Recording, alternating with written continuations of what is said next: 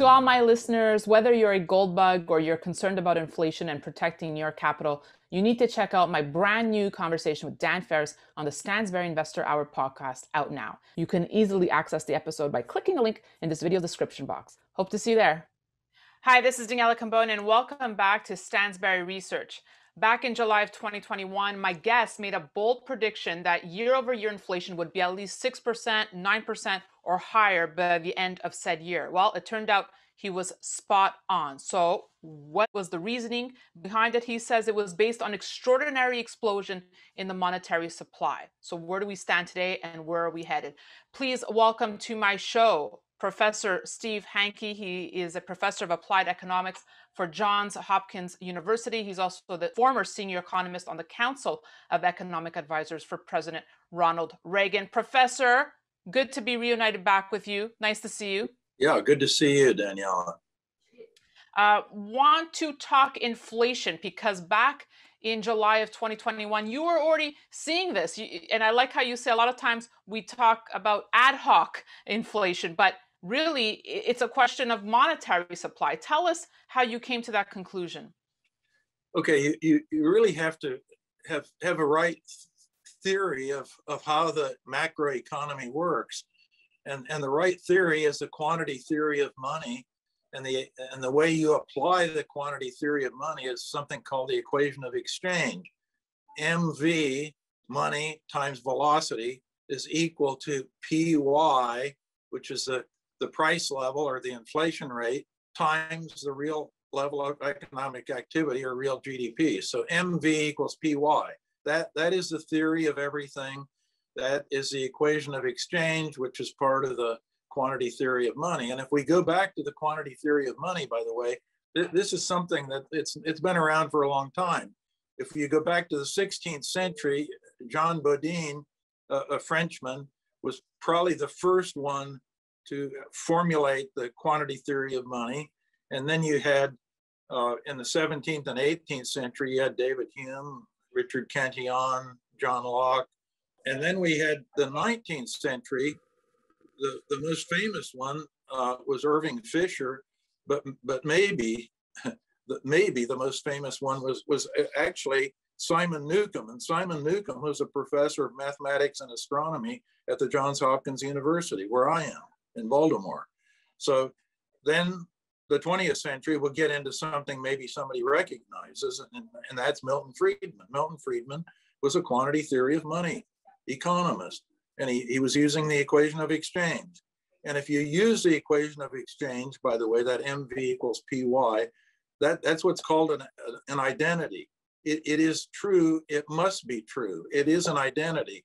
So if you plug the right numbers in to the identity, you, you get the right answer. And John Greenwood and I, in the piece you referred to in the Wall Street Journal in July, we, we said we, we, we rearranged the, the identity. We, we solved for P, which is the, the rate of inflation, and plugged in the right numbers. And the right numbers were any way you cut it, inflation by the end of the year, that means last December, we're, we said that it would be 6% or perhaps up to 9%.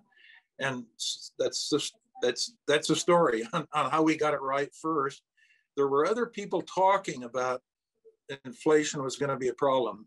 Probably the most notable one was Larry Summers, uh, former Secretary of Treasurer and Treasury in the United States and professor at Harvard. And Summers was right to be concerned about inflation. He, he had a different reasoning, though. He said it was government spending. And he wasn't wrong because government spending, but he wasn't right either. So, so the go- government spending, yes, there was a lot of government spending. That government spending was not financed by increased taxes and left us with a deficit. And the US Treasury, of course, uh, sells bonds to finance the deficit. And those bonds are sold to primary dealers in, in, uh, in mostly in New York. And, and then what happens? Who buys them? Well, the Fed bought a great many of them, about 90% of them were bought by the Fed. And that's why this so-called Fed balance sheet expanded and, and the money supply expanded because when the Fed buys those bonds from the non-bank private sector, they credit the account of those who are selling the bonds. And what, what's that mean? That means the checking accounts of those recipients that have sold their bonds goes up and checking accounts are part of the money supply. Professor, I want to bring up a quote uh, to your point, and then I'll ask the question, and then we'll get to your new forecasts for inflation. But first, here's your quote. I like how you say the rate of growth in the money supply is swept under the rug in the US. This attitude is comparable to maintaining that the law of gravity applies in every country except the United States. So my question is this, was the Fed was was Jerome Powell and company not using that equation when they came up with the term transitory for inflation? Are they sweeping it under the rug? Why wouldn't they be looking at this? Oh, they're they're not even looking at the for, forget the equation of exchange and the quantity theory of money. They're not even looking at the money supply. so, and, and has testified uh, repeatedly that the quant- quantity of money has, has become kind of in, irrelevant, disconnected to, to activity in the real economy and, and inflation in particular, which is just not true. I, I, have just gone back for, to 1960 and, and I've used the quantity theory of money, the equation of exchange to, to forecast what the price level should be in each year. And it matches up perfectly with what, what's, what's going on with inflation. So Milton Friedman, inflation is always and everywhere a monetary phenomenon. Now back to Larry Summers, by the way, the, the reason that Summers is kind of right, his conclusion about inflation is 100% right. But his reasoning, he, he's a fiscalist he's a Keynesian and he's looking at, at the government expenditures. He's only focused on government expenditures. And, and that's not really the way to go because you can have a huge increase in government expenditures and no inflation if the increase in government expenditures is financed by taxes. So then you would have no deficit. Or if it's, if it's financed by bonds that, that are sold to the public, but the Fed never intervenes. The Fed never monetizes the bonds. And in that case, what happens? You sell a bond to somebody, and, and somebody has to go to their bank account and send the government a check for the bonds they receive. And that actually tends to reduce the money supply and also increase the interest rate. So, so that's not a that's a non-inflationary thing. It's not an inflationary thing. The key to the government fiscal side of things and the reason, and the only reason that it causes inflation is because the Fed steps in and buys the bonds. It monetizes the deficit and, and it is a money supply. You see, it's always the money supply. You have to look at the amount of money held in the hands of the general public. That is what makes things go around. And I, I know you can't get into the head of Fed Chair Jerome Powell, Professor, but why is he discounting the money supply aspect? Why do you think? Well, there, there are actually two, two fundamental reasons. One is that macroeconomics, the way it's taught uh, uh every place in the world, it's, it's essentially post Keynesian modeling. And when I say post Keynesian, those models don't have money in the model. So everyone is trained in such a way, or most people, that they don't, they're, they're, they're not aware of what we're talking about. They're not aware of money because it's not in the models. What is in the models is interest rates. So, so that's one, that's one reason. The second reason is that for a number of years, it, has been very fashionable to spend a lot of time talking about the Taylor rule. And the so-called Taylor rule was uh, John Taylor, a very, very distinguished economist at Stanford University, came up with the Taylor rule. And the Taylor rule basically says that to meet the inflation target of the Fed, you've got to change the federal funds rate in a certain way to follow the so-called Taylor rule. But, but it doesn't talk about the money supply. It's talking about interest rates. It's the same, same thing as the post-Keynesian model. So for those two reasons, the Fed and all mm-hmm. central bankers, they look at interest rates now, but it's the money supply, stupid, that makes everything happen, not interest rates. It's the money supply so to that point, uh, we, we know about how the Fed you know plans to uh, taper its asset purchases, purchases over the next six months.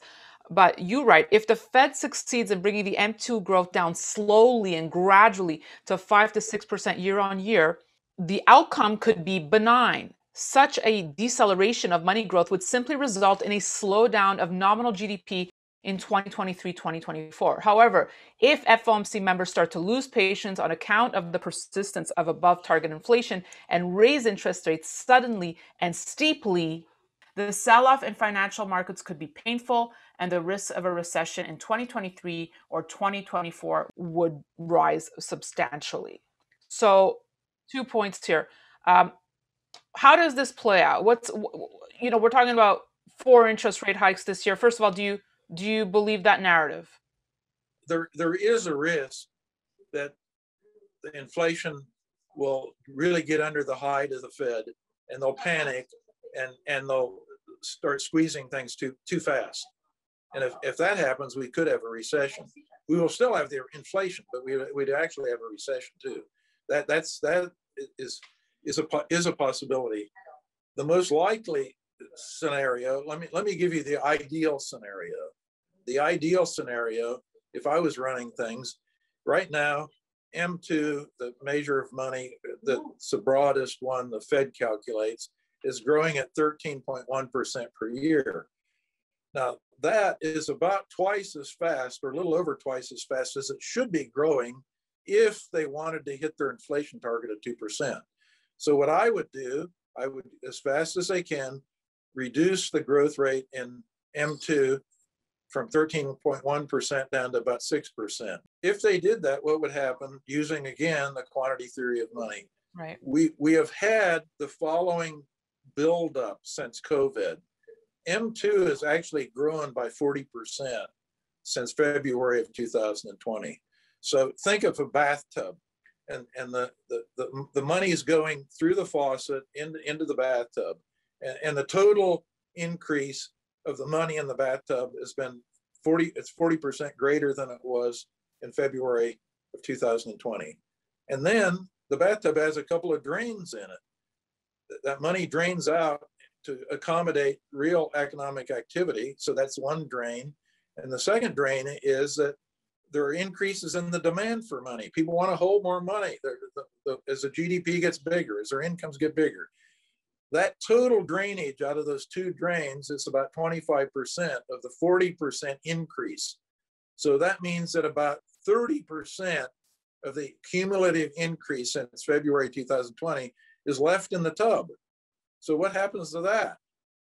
That eventually goes out the overflow valve as inflation. That's where inflation comes from. It's the excess money that's been created. And there's a lag a variable lag that occurs that, that runs about 12 months to 24 months. So it's just starting the excess to drain out of the tub now. And so you said, well, what's your inflation forecast? If the Fed would reduce the growth rate down from 13.1 to 6%, and, and we end uh, up, the drain overflow goes out, we, we would have inflation just in that scenario, yep. in that best world scenario of, of 6% or more to, for 2022, 2023, into 2024. So, so that's why inflation is, is permanent. It's not temporary because it, it takes a long time, this lag between the injection of excess money into the system before it actually starts draining out and spreading out over the economy that said, so if inflation is going to be sticking around in our lives for for for quite a while here, um, are there sectors that you prefer? I, am not. I know you don't give financial advice, but if as an investor, what is one to do here? Let's put it this way: what you should have done, looking back to the start of February 2020, when this big surge started, and, and anticipating that they were going to keep the surge on, what happens? you, you have a, the following sequence, monetary sequence with a quantity theory of money. The surge of money begins, and about one to nine months later, asset prices go up. So they did. The stock market boom, housing prices boom, commodity prices boom I mean, immediately. Then, with a lag of about six to 18 months, the real economy starts kicking in. Okay, we, we've seen that. We, we, we had a huge slump and boom, it came back. There was a huge V in, in, the, in the real economy, and, and, and that's moving along. And then we've got the inflation, 12 to 24 months. So we've still got the inflation with us. You want to be in commodities in general. You, you want to be completely away from nominal bonds of any kind because interest rates follow the inflation rate. And the inflation rate is going to be permanent. It's going, it's going up. Uh, you wait and see. We're going to get an inflation number yet this week, and it'll be higher than 7.1%, which is the last one we had, the last month's reading that we had. And so in that case, the, the bond market is going to be under tremendous pressure and the bond market is very mispriced because the bond market actually, even today, the inflation rate is 7.1%. But for the next year, the bond market has an inflation rate pri- priced in at about 3.5%.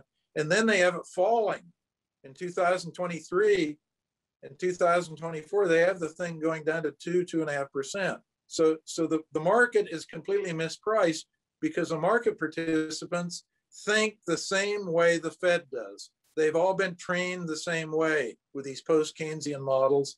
They all lap up whatever the Fed says, they, they believe it, obviously, right. because the markets are pretty much in line with the Fed. The markets are saying to Powell, we trust you. We think we think you're going to turn the dial and get inflation under control in the in the near future, and we're not very worried about it.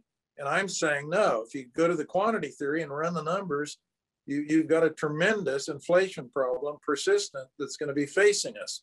And the bond markets right. will eventually pivot, by the way. They always do, because bond interest rates, long term rates, I'm talking about things with duration of two years or more, always follow inflation. They don't lead it, they follow. Okay, that's really interesting, Professor, because I had a lot of experts coming on saying if the Fed were to aggressively fight inflation, um, that that ultimately would turn into turmoil for uh, the U.S. stock market. That we'd have a you know a huge correction, crash, etc. Uh, but you're saying not so. Well, now the stock market. I, I was talking about commodities being very very bullish on commodities and very bearish on nominal bonds. That's the only thing I said the the other experts okay the stock market turmoil that will come when the bond market turmoil that i think will happen happens. And when the bond when the when the bond really start tanking believe me the stock market is not going to be silent. It, it will the multiples will come off the stock market and we'll see a pretty big correction in the stock market let's let's let's focus on commodities a, second specifically gold. I know we've had conversations at length in the past on the topic of the yellow metal. Is or make the case uh, for gold being a great inflation fighter? Well it hasn't gone down but it hasn't it hasn't done much. I think there's a i think there's a good bull leg in in, in gold uh, and we'll see it coming as we see turmoil in the bond market and, and persistent inflation I'm not worried about it. I'm long gold, so I'm not worried about it. It doesn't bother me at all. But there are other things that are very interesting that are more exotic, like lithium. Lithium is skyrocketed, and that's something you want to be long. Now, this is not inflation per se. This this is a relative price change problem. In other words, if you look at the com- if you look at the composition of a of a price index and you've got hundreds of items in a, in a price index and the, and the price index goes up and down and that is because of money and changes in the money supply. That's why big indices go up go down go up and go down. Inside the basket you've got hundreds of items and you've got relative price changes going on inside the basket. And and and lithium and, and the commodities would be places where you would see this relative price change going on. Oil prices, for example, they've gone up and been very strong recently. Well, that's a relative price change. They've been going up relative to everything else in the basket. Lithium is, is through the roof. Oil, oil is very strong. So you have a distribution of things in the basket.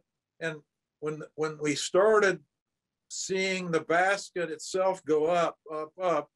Originally, only a few items in the basket were increasing in price. That's the relative prices. The relative prices were going up. And now we see almost everything in the basket's going up. There, there are almost nothing, no, no sectors of the economy do we see prices actually going down. Very few, very tiny. And that, and that is just a symptom of all the prices, the relative prices shifting around, all of them going up in absolute terms. And when that happens, of course, the basket goes up. But, but what drives that basket going up, that aggregate basket going up, it's the money supply and the equation of exchange. That's, that's, where, the, that's where the inflation comes from, not, not relative price change. Not, now to get this, Daniela, so just so your viewers have an idea what I'm talking about, all this supply side talk we see is just utter nonsense as it relates to inflation because supply chains don't have anything to do with inflation. They have something to do with the supply in a particular market of a particular thing and changes in relative prices. But if you look at countries where they have low inflation, like China, Japan, Switzerland, I mean, Switzerland and Japan, the, inflation rate's less than 1%. it's around a little over 2% in China. All of those countries have all the supply chain problems we have, but they don't have inflation and they don't have inflation because the money supply isn't growing excessively. So, so, so if you read the press, you, you have to remember my 95% rule on reading the financial press. 95% of what you read in the financial press is either wrong or irrelevant. And, and everything you read about inflation has some story with it about COVID, supply chain, some nothing about money, by the way. Point made, Professor. Absolutely. The, the first major newspaper that even gotten in, uh, into this was last weekend. David Lynch at the Washington Post had an article in, in which he, he's at, he asked some of the same questions that you're posing. Not, not we, the article didn't go into it as much detail, but it's the first major news source that I'm aware of in which money was even discussed well that's what we're we're aiming to do. So what i want to do is educate the audience equip them with the with the right knowledge the, the right tools. And um, if i may uh, maybe we can just wrap with your thoughts on crypto. I know you've been very critical of the space. I just want to read one of your recent tweets. 323 million in crypto was stolen from a blockchain bridge called Wormhole, making it, um, I believe, now the fourth largest crypto heist ever. Uh, that's no surprise. Crypto is a paradise for crooks and thieves. I had Lyn Alden on uh, recently, and she was saying that when you know we had the China crackdown, we had the Nigeria crackdown, which really didn't do much to move the needle on Bitcoin. But if uh, the US, for example, were to step in and start regulating uh, cryptocurrencies, that could be a huge game changer. I'd like to hear from you your thoughts in terms of regulation. Is it coming anytime soon? Oh, well, it, it's coming. The question is what form that it should come. Because right now, the crypto space, the, the producers of cryptos, they're, they're banks. They're, they're producing money like a, about 90% of all abroad money produced in the United States, dollars, dollars, is produced by commercial banks. It's not produced by the Fed. It's produced by commercial banks privately. So most people don't understand. Most dollars produced in the United States are actually produced privately by private commercial banks. And cryptos are, these tokens are money. And they're produced by, in effect, de facto banks, but they're outside the law. So the rule of law is not being applied. They're exempt from it. And the rule of law should be applied. If you if you walk like a duck and you quack like a duck, you are a duck. So if you behave like a bank and sound like a bank, you're a bank. And you should be incorporated under the regulatory regimes that, that we have in the United States. You should you should be regulated like everybody else. If you're not, then the rule of law is not applicable in the United States. Now, what they're trying to, so that that's my thing.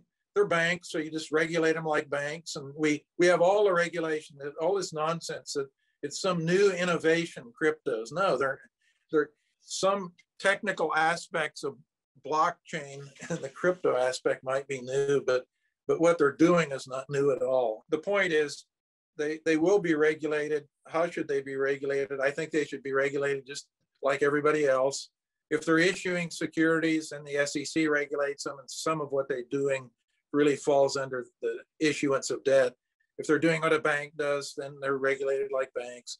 The that's the end of the story. What the cryptos want, they they want special treatment and special regulations, and of course they're trying to bamboozle the regulators in Washington and the politicians and spending millions of dollars doing it so that they can get a special deal.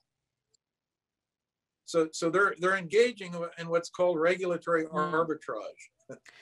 Let me ask you: Would there ever be a situation in the future which like, if we were to get more regulation or any kind of regulation in this in this space that would make you reconsider the cryptocurrency space? Do you see any value there?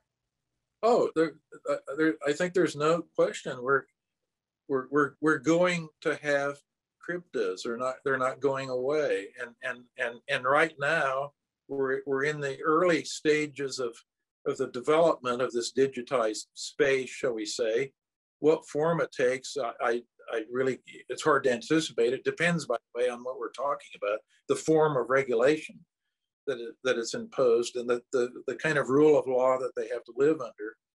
But, but right now, my, a lot of my criticism of cryptos uh, is, is the, the fact that they are really outlaws. I mean, it's outside the law. That's, that's one aspect. The other aspect is that their behavior is such that they're so extremely volatile that it, it is a speculative asset. It's really, they're not used as units of account or, or currencies. It's more like going into a casino. So people have to know if, you know, if you want to go to the casino, I'm a classical liberal. I'm, I'm not going to stop somebody from going into casino and gambling if they want to do that, but they have to know what they're doing. I mean, they're gambling that, that's what's that's what's going on in the crypto space right now. And and for those who've who've, who've you know the greater fools theory, if if they if they bought bought bought low and found a fool to sell a thing too high, fine, good for them. I happen to think, by the way, with regard to Bitcoin itself, that there will be competitive cryptos that come in that are much superior and, and eventually i think that the fundamental value of bitcoin is zero. There's there's no valuation model for any currency that can be used to to place a value on it. I think the fundamental value is zero. Now the, that's not the market value. The object the objective market value is is is a positive number. I haven't looked at it today so i, I can't give you the reading on it but but the objective value is is what the market price is. The, the subjective valuation, I think, is in my view as an analyst, is zero. So, so the question is, well, when when when will a market value approach this my subjective value? I have no clue when that's going to happen. But the process by which it'll happen is, is as follows. There will be superior cryptos entering the market and, and they will eventually push aside Bitcoin and it, will be a, a, historical relic. Maybe its fundamental value will be something a little greater than zero because you can put it in a museum and people will pay to go see it. All good thoughts, Professor. I hope to continue this conversation with you soon. I know you're extremely busy, so I appreciate your time today to speak with us. Great to be with you, Daniela. Good. Have a good day. Good to be reunited with you as well, Professor. And thank you all for watching. We'll have much more for you, so be sure to stay tuned to Stansberry Research and don't forget to sign up for premier content you can't get anywhere else at danielacambone.com. That's it for me. Thank you for watching.